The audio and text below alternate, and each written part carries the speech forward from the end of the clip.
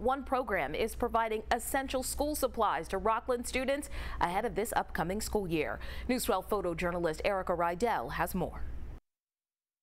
Today is Back to School with Dignity kickoff day here at People to People. Back to School with Dignity is a program that provides brand new backpacks filled with grade appropriate school supplies to about 1,500 children. We have over 1,400 backpacks, and today is our kickoff day.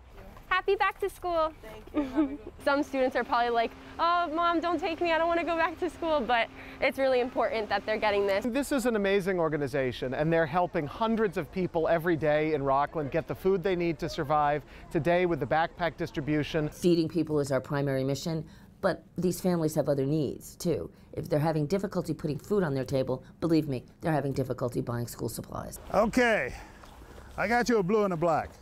The kids are our future, and I think you know the more we invest in the kids today, the better off we'll be later on in life. It starts with us asking, "Hey, what color backpack do you want?" They tell us pink. We're like, "Okay, we'll get it for you." Yeah, I got the backpack. Yeah. I got them, two of them.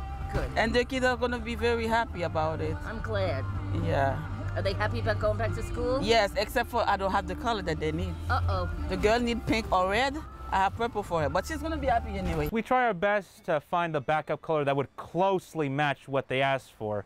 That we try our best. If we don't have a pink, uh, we try to see if we have at least a purple. We're really adding to the child's life in a way because they can just have a backpack and they decorate it how they want. They do whatever they want with it. So what are you going to do with your backpack? Are you going to decorate it or? Mm, I'm gonna decorate it. Pur tell her purple is the color of royalty. it is. We really believe that these kids should be able to start school with the tools they need so that they can get the education they need, so that they can get the jobs they need, so they don't have to come to a food pantry.